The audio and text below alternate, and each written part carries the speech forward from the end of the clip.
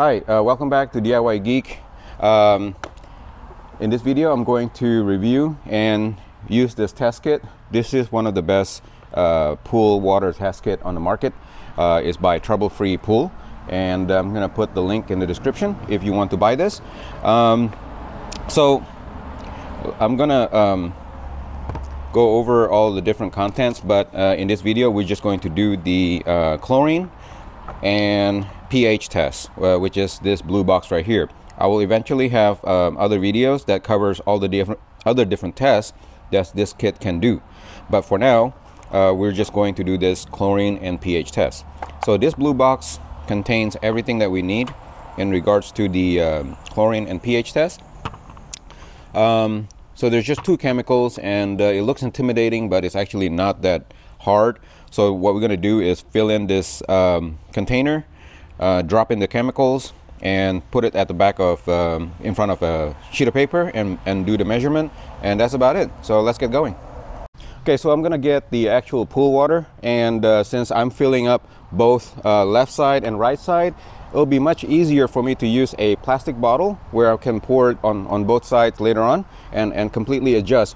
What I would like to do is fill it up to this thin black line right here right there.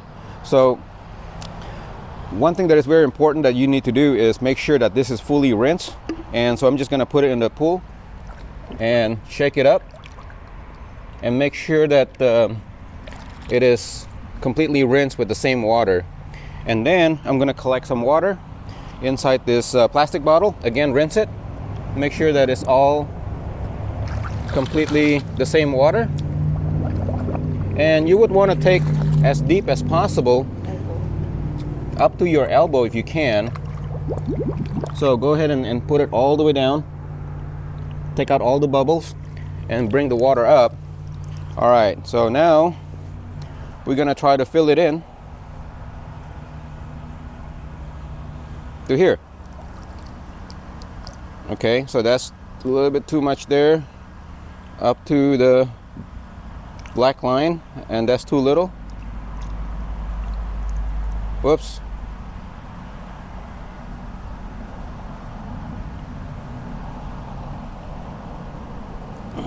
Okay, that's uh, still a little bit too much. Okay, and then the less less. Okay, still a little bit too much. There, that's what that one is perfect. This one is still too little.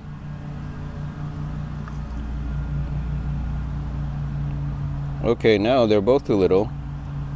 So it could be easier using a, almost like a dropper, I guess. Okay.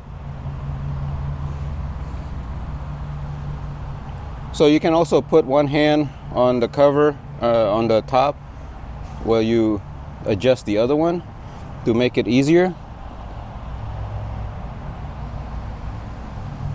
All right, so they're both up to the blue, uh, the, the thin black line and we're gonna take it to the test kit and drop some chemicals. Okay, so first we're gonna do the chlorine test, which is this yellow bottle.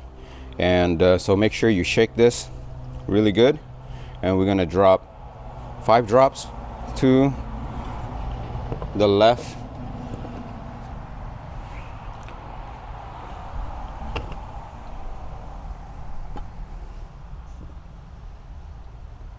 One two three four and five okay? And then we are going to close that container. Okay so first we're going to do the chlorine test which is this yellow bottle and uh, so make sure you shake this really good. And we're to drop five drops to the left.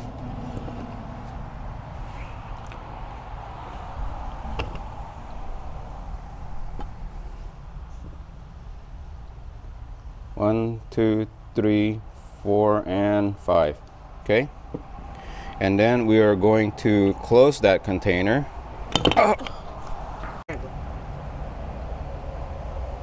okay?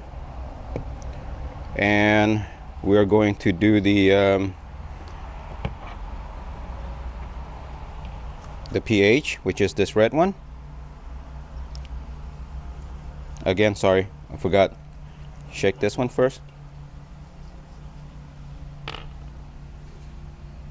And drop five drops also. One two three four five.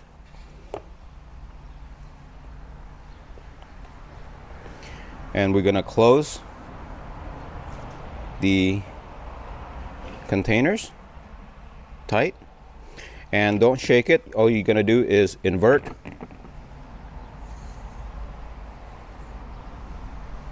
About five times is good. Okay okay? And we're going to do the um, the pH which is this red one. Again sorry I forgot. Shake this one first. And drop five drops also. One two three four five.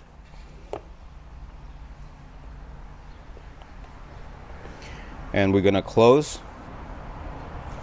the containers tight. And don't shake it. All you're gonna do is invert.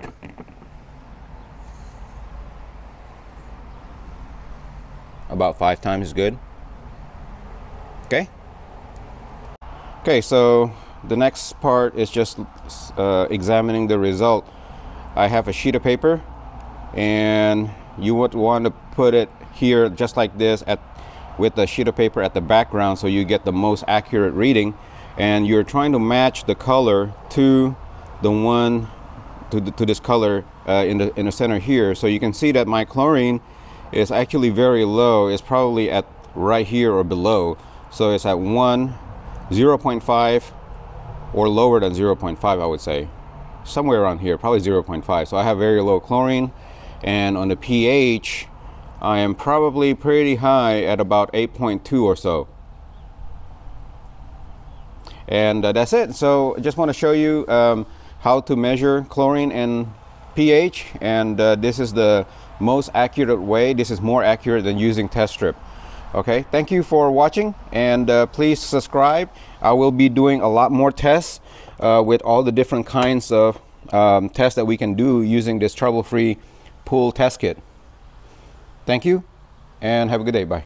Okay so the next part is just uh, examining the result. I have a sheet of paper and you would want to put it here just like this at with a sheet of paper at the background so you get the most accurate reading. And you're trying to match the color to the one to, the, to this color uh, in the in the center here. So you can see that my chlorine is actually very low. It's probably at right here or below. So it's at 1 0.5 or lower than 0.5 I would say. Somewhere around here probably 0.5 so I have very low chlorine. And on the pH I am probably pretty high at about 8.2 or so. And uh, that's it. So I just want to show you um, how to measure chlorine and pH and uh, this is the most accurate way. This is more accurate than using test strip. Okay? Thank you for watching and uh, please subscribe. I will be doing a lot more tests uh, with all the different kinds of um, tests that we can do using this trouble-free pool test kit thank you and have a good day. Bye. Thank you for watching. Please subscribe to my channel to see more do-it-yourself video like these and support my channel. Thank you